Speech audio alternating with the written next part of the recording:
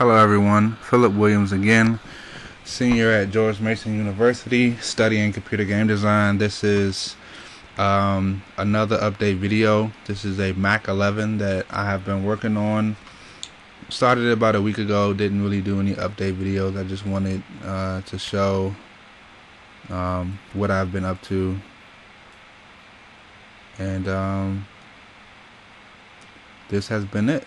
It's been very interesting experience. First, I wanted to do a Mac 10, and I just decided, well, with the help of my friend Eric, he was just like, "Why don't you just do the Mac 11? It's the latest version." I said, "True," and um, so now I'm here. Right now, I'm about to make some cuts. Didn't mean to do that. Make some cuts so I can uh, make this a four-sided polygon right quick. Just for uh, aesthetics. So I would like to thank all those that support me that push me to follow my dreams.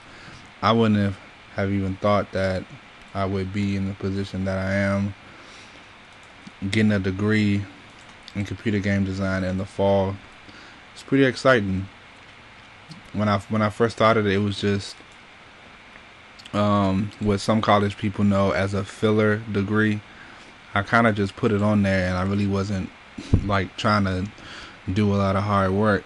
And then turns out some of my game design work has been the hardest work that I've ever done in my life.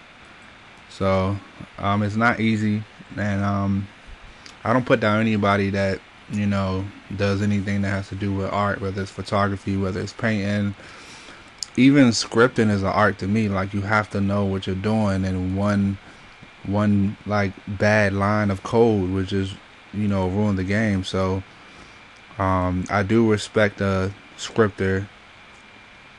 So um, I don't want to put anybody down. Like game design is the best thing out there, and you know, if you're not doing it, like, you know, you're like you're a bum or something. No.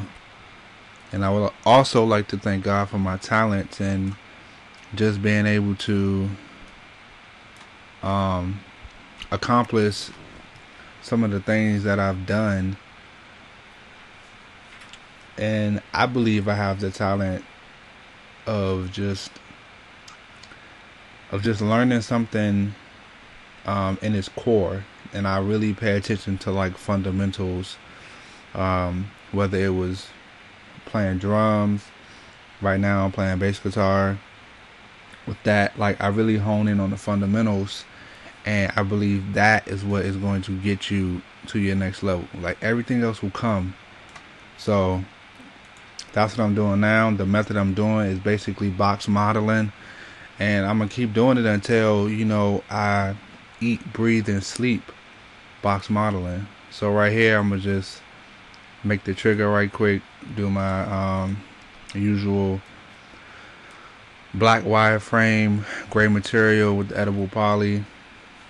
Um, still haven't figured out how to get it to um, automatically make a shape that you know comes out with the black wireframe and the um gray material. Still haven't figured that out. Still wanting to know that. Someone just delete this face, do a little shift dragging, which I think is one of the best things about 3ds Max is being able to shift drag and create uh, new geometry just on the fly. Not really having to keep on adding boxes or keep on using extrude, which this is extrude in a a different way. So, and, and uh, I'm gonna just go over some plans that I have. My plans are, um, I'm applying right now at Bethesda Softworks, creators of, um, you know, Dishonored, uh, Brink, Fallout 3. They didn't do Fallout New Vegas. But Fallout 3, they're currently working on Fallout 4. They're not really telling anybody, but trust me, I know. Um, Wolfenstein, I tested that. Great. From what I played, that game is going to like break a lot of barriers when it comes to like FPS and environment. Awesome game. Um, that game is going to be great. I know some people who are uh, currently working on it now. A scripter I know that does environmental scripting, he's working on that now. And I'm coming to the end of my trigger. That's basically it for that. And of course we need to soften it up. How do we soften it up? Well, I'm gonna cap the poly, add a, um, I mean it's multiple ways. I can even do it the quickest. Just put a symmetry modifier on top of it. It'll automatically go to the zero of the Z. Take my mirror and move it over. So probably to about, probably like right there. Take that, copy it, and collapse it. Then go back to my edge mode and click this edge Then what I'm going to do is I'm going to deselect all the other edges. I know where they are. I've been doing this for quite some time, so you tend to know some little some little quick tricks. So I'm gonna pull this one out a little bit, give the um give the geometry a bit of flair. Deselect all of these and pull this out some and the bottom of course wanted to act funny so we're gonna make it planar and then I'm going to shape. And I made it planar just to get the geometry um, a certain way. Now I can always change this of course. Anything that I'm feeling that's not in place I can always go back and change it. If I feel like the shaping is a little bit off the smoothing groups are a little bit off.